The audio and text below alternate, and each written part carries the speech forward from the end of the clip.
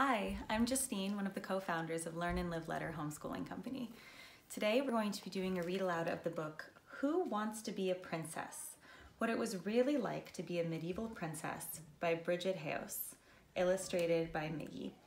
This book is part of our Castles unit. If you have any questions about the Castles unit or Learn and Live Letter in general, we'll put links in the description of this video and we hope you'll check us out.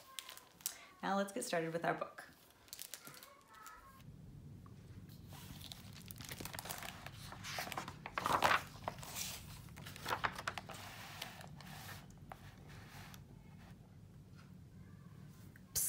You in your tiara and twirly dress.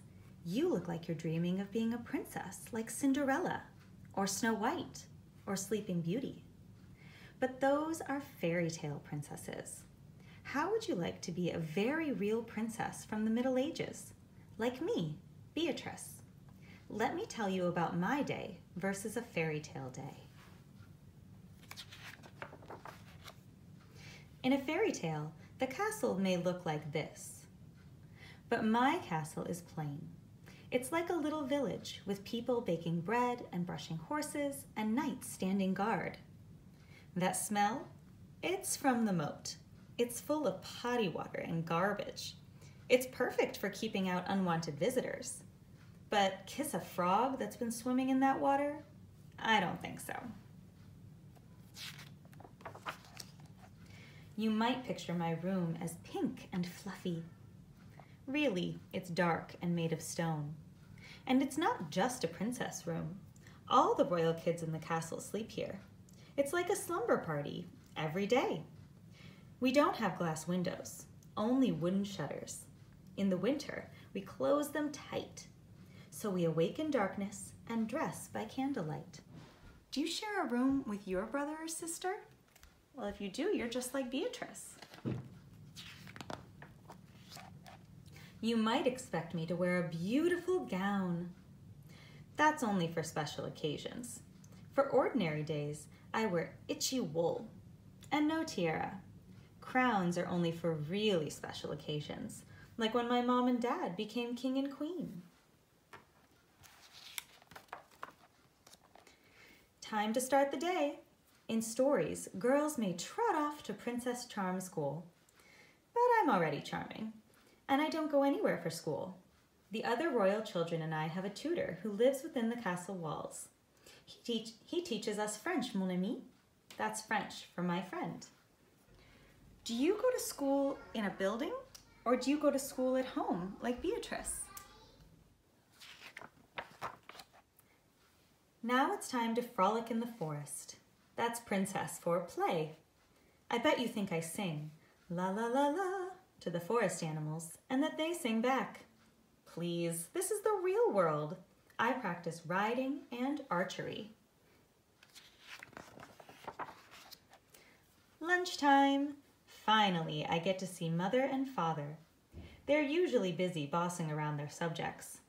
You may have seen paintings of us dining at the high table, and we do, but our food may surprise you. It certainly does us. We're having peacock. The cook has replaced its head with a wild boar's head. On the side, pies filled with birds. Four and twenty blackbirds have escaped and are flying overhead. It may sound like a nursery rhyme, but the cook really makes this dish for our amusement. Huzzah! We rarely sweep. Bones, grease, and crumbs, and now bird dew, pile up on the floor. Rats are everywhere. We'd prefer they leave, but what can we do? Other than tidy up, I mean.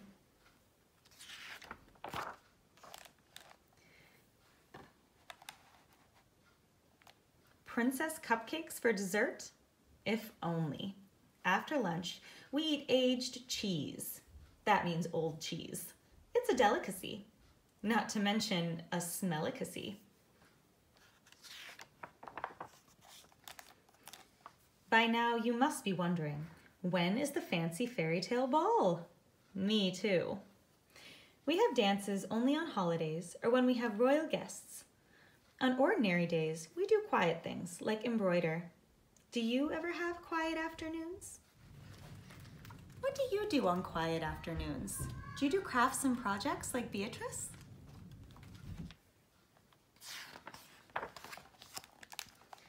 As the sun sets, we dine again. We often have visitors. In stories, an evil queen might come to cast a dastardly spell.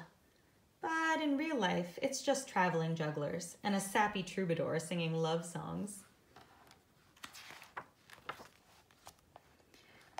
One day, a prince really will sweep me away. But he might not be charming or handsome. I may not even know him. My parents will choose him. We'll marry when we're about 12. I hope we like each other, even if he does look funny and act goofy. It's dark now. At a fairy tale park, the castle would light up the night sky. Knights would guard against dragons or evil wizards. But we have no lights. In the darkness, people sleep everywhere. Servants rest beside their work because they have no rooms of their own. And the real danger is from armies who might try to overtake our castle in the dark. I snuggle into my bed when I'm afraid. Not a fairy tale bed like this, but an ordinary bed like this one. My sister tells me a story about a princess far, far away. I fall asleep.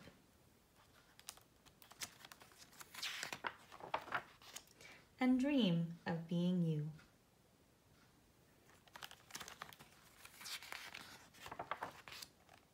Author's note. In this story, Princess Beatrice is a fictional medieval princess. The Middle Ages, or medieval times, lasted from CE 500 to CE 1500. That's 1,000 years.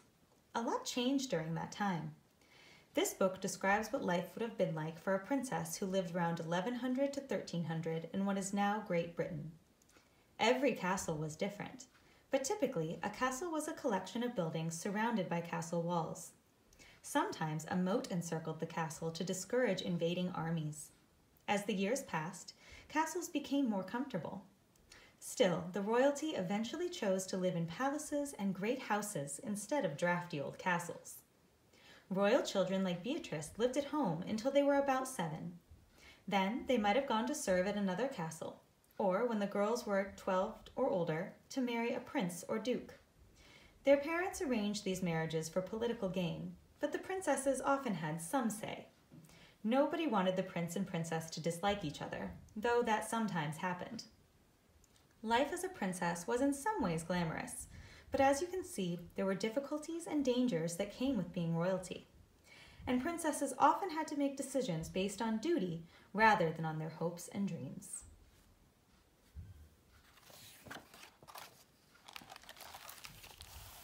We hope you've enjoyed this read aloud of Who Wants to Be a Princess? What it was really like to be a medieval princess. If you have any questions about our castle unit or you want to know more about Learn and Live, click below. You can also like and subscribe to get more read alouds from us. Thanks for watching.